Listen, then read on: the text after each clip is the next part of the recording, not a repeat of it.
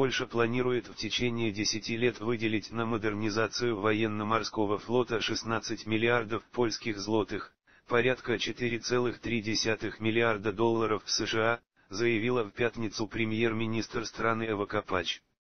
На судоверфи в Гданьске в пятницу прошла торжественная церемония спуска на воду прототипа нового тральщика польского производства Корморан-2, предназначенного для поиска и обезвреживания морских мин в водах Балтийского моря.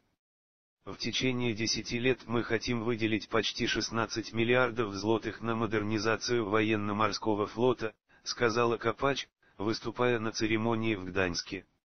Глава правительства Польши выразила уверенность, что Корморан-2 без сомнения укрепит безопасность судоходства на морских путях и полигонах.